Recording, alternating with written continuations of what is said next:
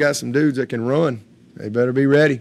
Uh, that's for sure because that, that ball is going to be in the air. We're going to find out Saturday. You mentioned all the new guys from Louisiana Tech. Is there a point in the season where you say, okay, they've played enough games, we're comfortable with who they are? Is two games enough to say, No. okay, we got a comfort level here? No, I mean again, the the, the you, we learn you learn a lot from that Missouri tape. Uh, you know, the Stephen F. Austin kind of got away, you know, pretty quick, um, and I thought they, you know, continue to do what they do, but they, you know, probably they got they got a lot we haven't seen. Uh, but yeah, that's that's as you get going in the season, you have much better comfort zone of okay, here's this is who they are. You, you have more feel for their personnel the more you see them play other people, and uh, uh, so yeah, I'm glad we got two games. Uh, that's for sure. You know, again, you got a, a lot of new people all over the place. Um it definitely helps when you when you can study, you know, new coaches, and now they've had a couple time, couple games to call the game, et cetera. Uh, you get a feel for just their base stuff. Have you ever not done players at the game? Oh yeah, yeah, oh yeah, yeah. We've had we've had times, but it's not often. Uh, not often, but there wasn't no player of the game Saturday. That's for sure. Not defensively. Uh, DJ and Shipley were our players of the game offensively. Did a great job, and um, we had uh, special team, and we, you know, I think they put all that stuff out. I don't know. We didn't have anybody on defense. Obviously, um, you've seen Wes work behind the scenes for years. Um, having a down defensive performance, what have you seen through the years that gives you confidence that he'll be able to adjust now? We- Wes is like this, man. He he's he's he don't get too high, he don't get too low. You know, go pitch a shutout, have five sacks and three picks. He'll be the exact same on on Monday. Uh, that's one of the things I love about Wes. You have a bad night like we had, you know, and I say bad night. We gave up 12 points. Created we've created four turnovers in two games. That's the other thing, um, and really should have at least six. We dropped a pick six. We missed time to jump on a tip ball at Georgia Tech that we Trotter probably could have had. Uh, and then we had two balls on the ground. One was a strip uh, sack that we didn't come up with. So, I mean, we've done a good job in, in, in that area. But uh, he's he, he's a he's a he's a savvy guy and a veteran guy. He's seen it all. Uh, he's been in about every situation you can be in. Uh, I ain't worried about Wes. Any other questions from the room? Working on a story about Jordan McFadden. Um, about Grady Jarrett and Nolan Turner of those guys are here because they're good people as much as athletes. I mean, how much does Jordan's recruitment fit into that uh, string of, of different athletes in terms of him as a person was eventually what convinced you guys to, to take? I mean, it's really that way with everybody. I mean, I think we really try to recruit people first, and uh, you know, he's he's a, a, a very talented player at Norman. Uh, we liked him. Uh, just needed to really kind of see him. He was he was developing. Uh, he was a little bit like Brandon Thomas in that regard, kind of a developing guy. And, and uh, man, what a what a player!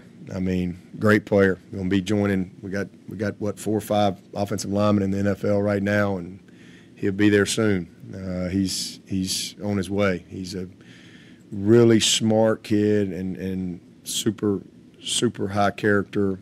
You know, great mom and. Uh, just about all the right things, but he's a student of the game. He really understands the game. I think, I think, you know, and he's he snaps on the side. He does some of that. I think he'll be a guy that can play all five positions at the next level. Uh, he's long enough to play tackle, and and he's just super strong and and again, just really smart player, uh, physical, got a bright, bright future ahead of him. He'll play for a while, um, but who he is as a person uh, just accentuates the talent that he has. It, it really does because his work ethic, his character, as I said earlier, it's not you got you can't just have talent. I mean, it's commitment, it's it's discipline, it's it's it is doing what's right when nobody's watching. It's it's your training habits, it's your commitment to your nutrition, it's all those things, and um, you know your football aptitude, uh, your love of preparation, and he he exemplifies all those things.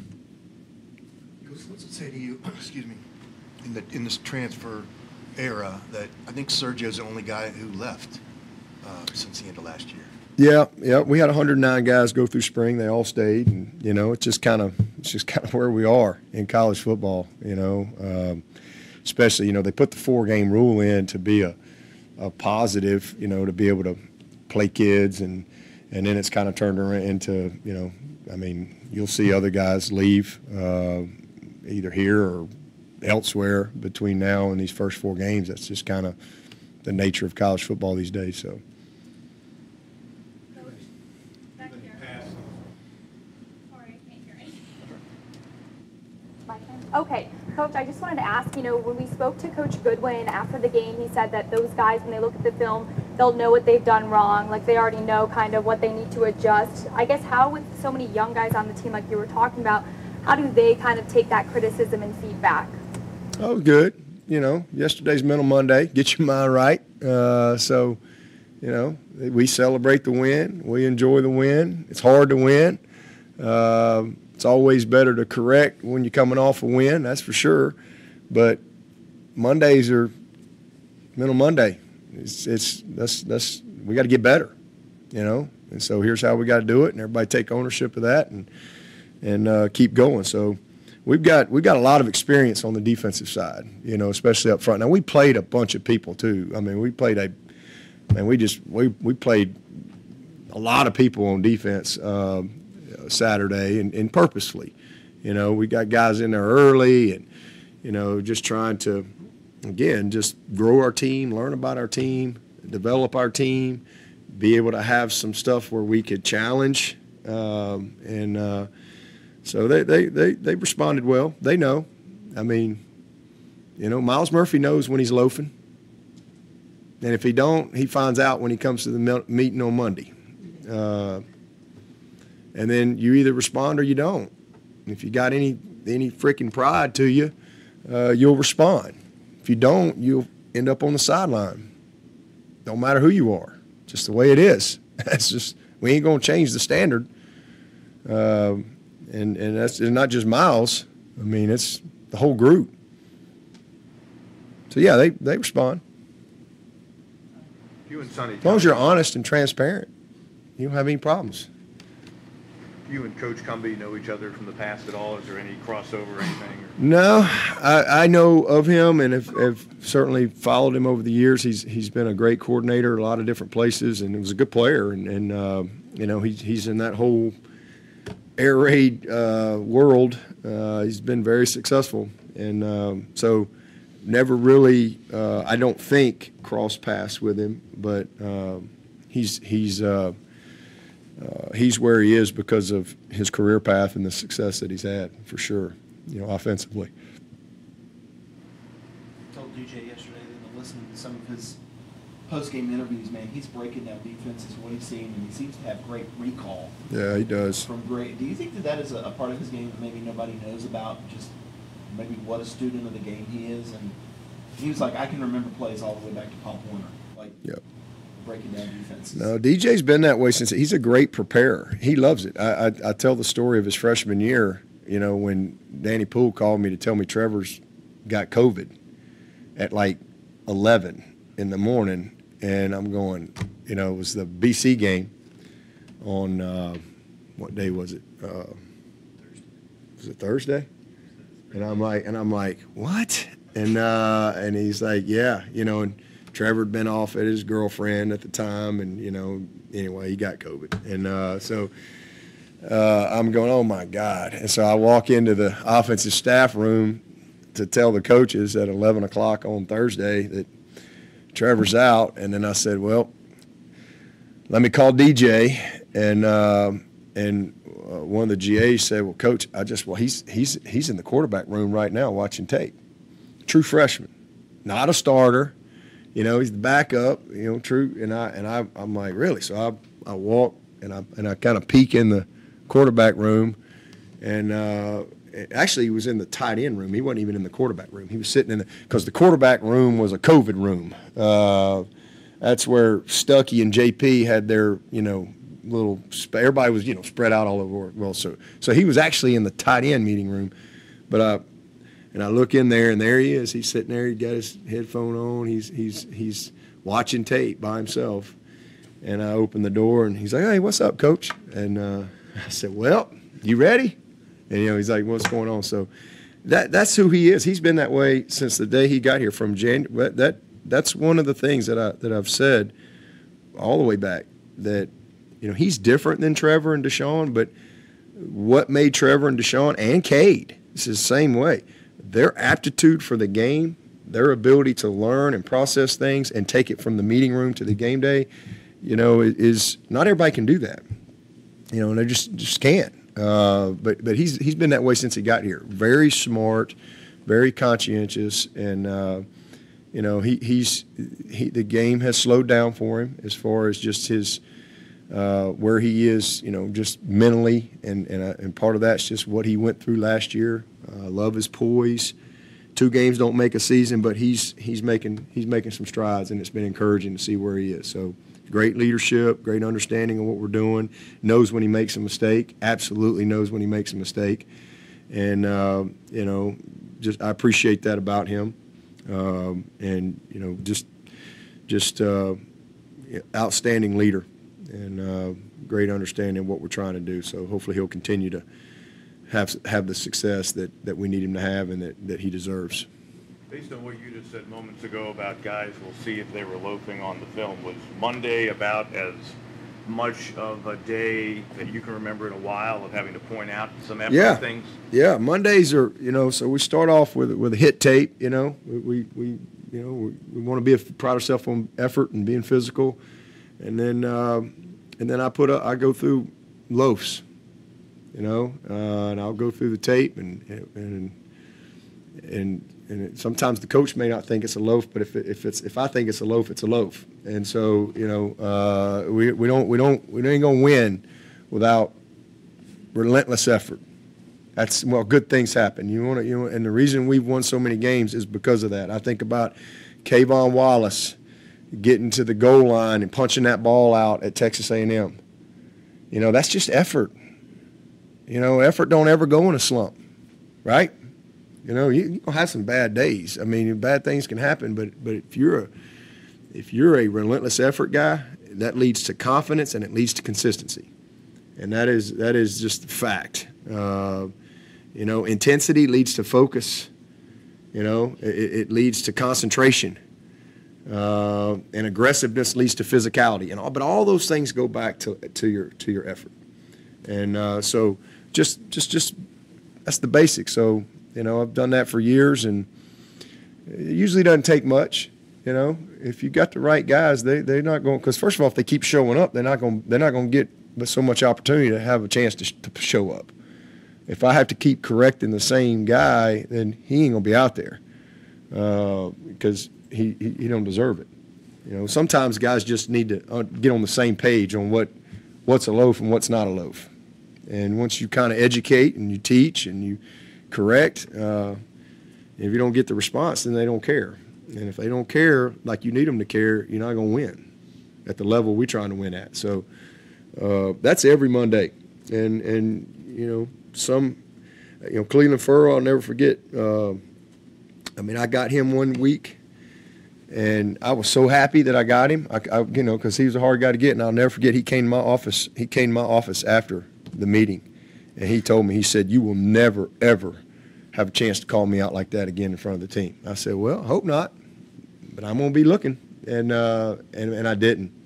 Just relentless, relentless effort. You know, he wasn't the fourth pick in the draft because he was the fourth best player. Probably he was the fourth pick in the draft because of who he was on tape and how hard he played, how physical he played, how relentless he was. I mean, you know, to go along with how talented he was. So um, it all starts there, man. Like I said, good effort leads to, to great things. And sometimes you just, it's covering to the ball, playing to the whistle. Um, and, and, you know, Barrett Carter, perfect example. He got that interception because he was hustling his butt off to the ball. He didn't have to. Play was kind of over right. It was kind of a mush right there. All of a sudden, ball gets tipped, but because he was hustling, he's there to make that pick. And so, um, yeah, we, we, we go through lows and then and then and then we, we go through extra efforts. we had a lot of those too, a lot of extra effort. So as I always say, you know what what is great effort, and, and you know it when you see it, you know it when you don't. What is the eye of the tiger and the heart of a champion? Well, you know it when you see it, you know it when you don't. And so here, here here's what it's not, and here's what it is. And sometimes, you know, for all of us, right, a picture's worth a thousand words. So we point that out every week, and uh, we always finish on a real high note with, with extra efforts and what it looks like, and then we we'll, we move on to the next opponent. But again, Monday was probably one of those where you pointed out more loads Oh, than you yeah. had in recent Yeah. years. Yeah. Yep. Coach Swinney, back here. So, uh, Coach Streeter was talking yesterday about DJ. A lot of times when he's walking the sidelines, he's pointing out his mistakes before even Coach Streeter has, has been able to get to him first. So to have a, a starting quarterback that's so willing to, hey, I, I, I made this mistake and I, I'm, I, I know about it. To have a starting quarterback that's so willing to have that conversation and honest, what does that mean? Uh, it's just great leadership. I mean, that's just who he is. I mean, he's he literally understands the game like a coach. He knows the game, and you know he's uh, very self-aware. Uh, he's his biggest critic, so you know he's he's he's very locked in, and um, just love where he is right now from a mental standpoint, a focus standpoint, um, and just ownership. I mean, the interception that shouldn't happen. He, he, he did, he did, they did trigger and they brought the backside safety and he didn't have his eyes where he needed to be post snap. But he, that ball should have gone outside. Easy play, easy throw, wide open, easy completion. Um, but Spector also shouldn't have stopped running. You know, but but DJ don't want to hear that. DJ put that on himself 100%, and and you know, but but that's 100% on Spector too. You know, because I don't I don't care if he if he if he shouldn't have thrown it. If he stays on the move, you, then then it's just an incompletion. You know, it's just a blow up incompletion, uh, and you go to the next play. But because he stopped, and no no quarterback's thinking that every guy inside slant's ever going to stop. You know, you're always on the move, and because he stopped and he threw the ball where he should have been, and we just get a hand. Uh, uh, uh, oh, maybe I want to catch that, uh, and the ball's tipped, and then you get a pick. But you know, it's good leadership on DJ's part because I mean, he he he don't he took all the blame because you know it starts with him because he he should not have thrown the ball there, but it's it's also on Spector. He he can't he can't he can't do that to his quarterback. Sometimes the quarterback makes a mistake. Well, if he just keeps coming and, and, and does what he needs to do, all right, it's a it's a blow up catch or it's an incomplete. You know, and you go to the next play. And and then the quarterback's going, dang it, I shouldn't have thrown that. And and you learn from it. But instead, we, we get a we get a turnover. Uh, but from him, he he didn't even want to even talk about that. You know, he, he knew right when he came off the field. Uh, you know, he just he didn't see the backside safety coming over off the pressure. He thought he had a clean lane, and uh, you know, so he just gets it. I mean, he understands. He knows the game, and uh, but he's always known the game. But he's just in a different place right now from a confidence standpoint, and and we're better around him. You know, uh, for sure. We're not we're not um, we're not anywhere what we need to be, uh, but but we are better, and uh, you know, I'm encouraged. Any questions for Coach from Zoom? Anybody else in the room? All right, Those joining us on Zoom, we'll close this room and reopen downstairs with Beaux Collins in there. Thank you. Phil